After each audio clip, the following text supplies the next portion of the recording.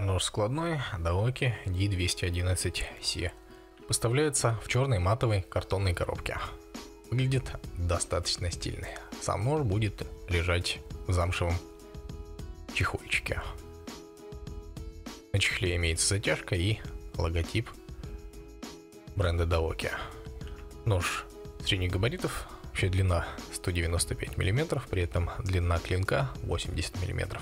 Рукоять получилась интересного дизайна, выглядывает металлический скелет, болты для подтяжки, скоба средней жесткости, накладки пластиковые, с расцветкой пиксельного серого камуфляжа. Такой городской.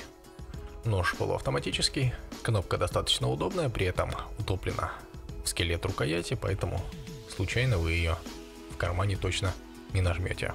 Клинок здесь в обухе 2,5 мм, сталь 440.